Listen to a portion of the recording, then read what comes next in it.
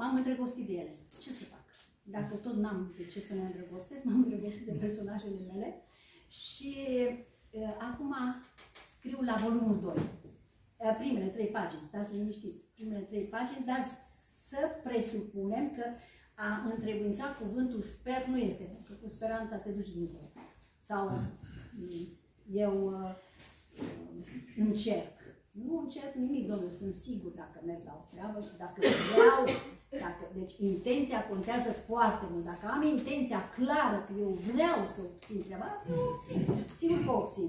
Este foarte important pentru voi să vă educați mentalul de acum, de acum să vă educați mentalul pentru că vă va ajuta foarte tare. Adică să renunțați la schemele alea vechi pe care le-am împrumutat cu toții, le-am împrumutat de la moș, strămoș, nu știu ce, că a, vine 70 de ani, cum scrie în Biblie și gata, omul trebuie să moară, vine 80 de ani, de acolo numai durere și nu știu ce.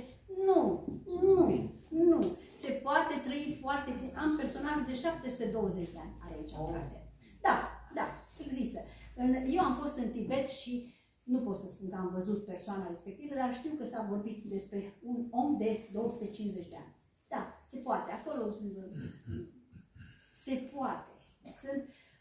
Sunt, cum să vă spun, sunt uh, lucruri uh, care nu ne sunt nouă încă la nivelul la care am ajuns noi de înțelegere, înțelegerea minții și conștientizarea este mai departe a conștiinței.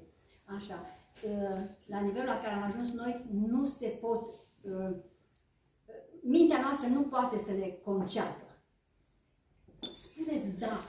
Mereu spuneți da. Nu vă puneți blocaje, nu vă puneți bariere de la a, păi nu pot asta, a, nu e prea greu, a, că nu știu, nu. Ștergeți chestiile astea pe care le-am învățat, a, că sunt prea bătrână, a, că sunt prea așa. Nu, șterg, poftiți? Corect, corect. Și eu gândesc atunci e foarte bine și așa gândește. Dacă vrei, poți. Poftiți? Dacă vrei, poți, exact. Exact, exact. Dragilor, indiferent de ce boală, cât ar fi de spusă de medici, confirmată de analize și nu știu ce, vă spun clar, că s-a făcut cipung, știu că, într-adevăr, recunosc că eu sunt eughină de 33 de ani.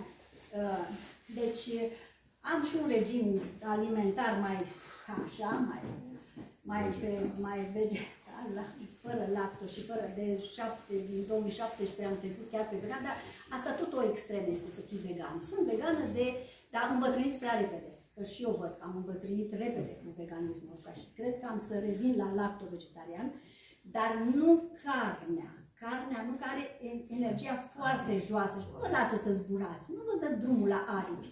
Și vă îngreunează, sigur că da. Nu vă dă drumul să înțelegeți niște chestii, să, să pătrundeți misterul să pătrundeți misterul. Hai, oprește-te că copiii sunt domnii și doamnele sunt